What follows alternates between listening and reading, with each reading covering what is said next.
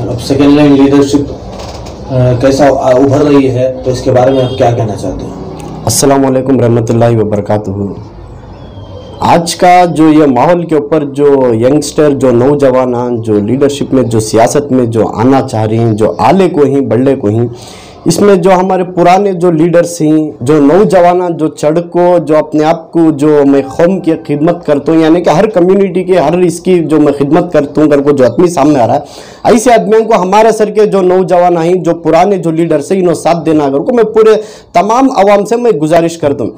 और उड़ती पड़ती एक बात मेरी नज़र में, जो हमारे कुशाल नगर में जो सैयद अजद बोल को जो कैंडिडेट आ रही हैं माशाल्लाह, मैं उनके बारे में मैं क्या बोलना चाहता हूँ? ऐसे लीडरशिप को बढ़ को तुम्हें जो पुराने बुज़ुर्ग जो मस्जिद की कमेटी वाले ही, क्यों कहता हूँ, वहाँ की हालत क्या है? तुम्हें लोग हम बेहतर जानती ना, मैं इधर बैठ को नहीं जानता।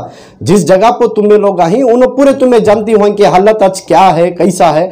ऐसे लीडरों को ऐसे नौजवानों को बढ़ाओ कर को मैं सबसे गुजारिश करना चाहता हूँ। यानी कि हमारे मस्जिद कमेटी वाले भी रंधे जो पुराने सदर जो रहती जो पुराने आदमियाँ जो रहती हैं, जो एक्स कॉरपोरेटर जितने भी हैं, ऐसे नौजवानों को बढ़ाओ करके मैं उनसे गुजारिश करना चाहता हूँ। क्या वास्ते के तो नौजवानों का जो माइंडेड है, एक सेक्युलर माइंड रहता है। जो पुराने आदमी के जो माइंड आ रहती है, ये किच एक तरफ़ से, यानी कि तुम्हें एक छोटी मिसाल हर आदमी को भी नहीं बोलना चाहता मैं।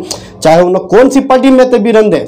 कौन सी पार्टी में तब काम करो, लेकिन नौजवान को लेकर आगे बढ़ाओ कर को मैं गुजारिश करना चाहता हूँ।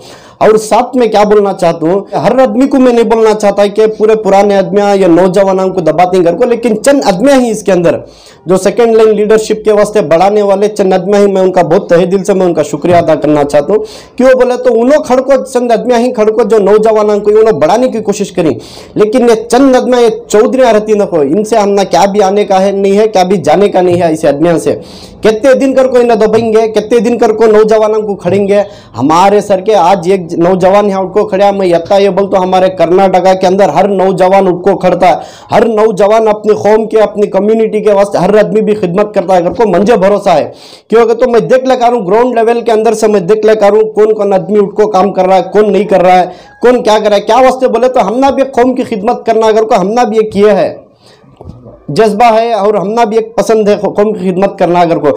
लेकिन जो एक कुशाल नगर के अंदर जो हो रहा है, मैं हमारे जो असजद भी हैं, जो सैयद असजद बोल को ही, मैं उनका तहे दिल से शुक्रिया अदा करना चाहता हूँ। क्यों बोले तो उन्हें और भी बहुत सारे नौजवानों को लेकर आगे बढ़ाने की कोशिश कर रही और मैं उनसे क्या गुजारिश करना चाहता हूँ, ये एरिए में नहीं हर एरिए के अंदर ऐसे नौजवानों को उनकी हिम्मत आना, उनकी हिम्मत आना कर को मैं आजीजाना गुजारिश करना चाहता हूँ।